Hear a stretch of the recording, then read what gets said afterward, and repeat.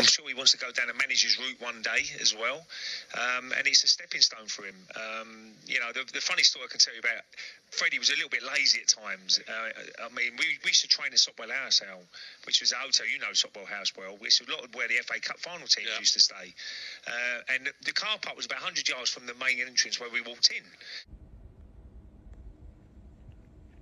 I'm sure he wants to go down a manager's route one day as well, um, and it's a stepping stone for him. Um, you know, the, the, funny story I can tell you about Freddie was a little bit lazy at times. Uh, I mean, we, we used to train at Sopwell House, Al, which was a hotel. You know Sopwell House well. It's a lot of where the FA Cup final teams yeah. used to stay, uh, and the, the car park was about 100 yards from the main entrance where we walked in.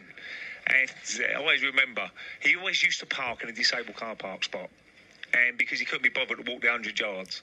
And I always remember Martin Keown, he's a classic. He came in one day and said, Freddie, if I see your car parked in that disabled spot once more, I'm going to knock you out.